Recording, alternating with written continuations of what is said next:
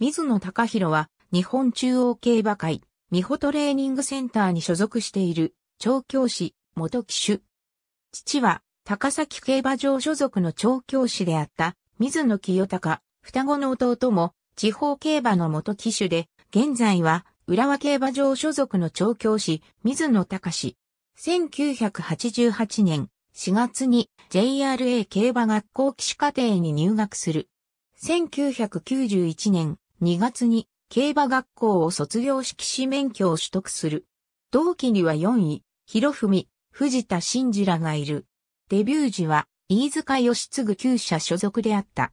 3月2日、初騎乗は中山競馬場での第4レースで2番人気の鹿島大王に騎乗し4着。4月7日に中山競馬場で行われた第3レースで6番人気だった海運観音に騎乗し初勝利を挙げた。1995年10月よりフリーとなる。1996年4月2日に地方競馬で初騎乗し、11月23日に地方初勝利を挙げる。2004年4月11日に JRA 通算100勝を達成する。11月より、美穂、的場仁志厩舎所属となる。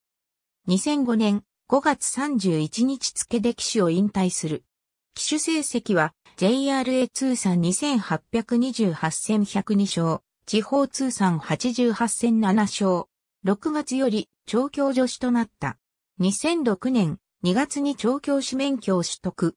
当初は10月1日付で12馬房で厩舎を開業する予定だったが、富田和幸厩舎解散に伴い6月1日付で14馬房で開業した。厩舎所属馬の初出走は6月11日、東京競馬場の第4レースで西のツバメが17番人気で13着となる。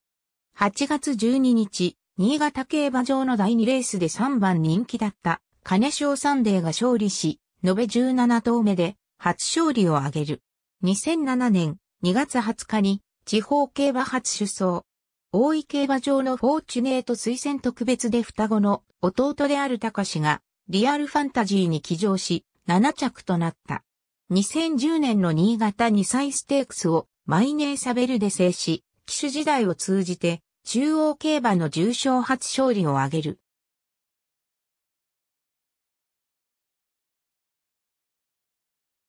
括弧内は、当該馬の優勝重賞競争、太字は GIQ 競争。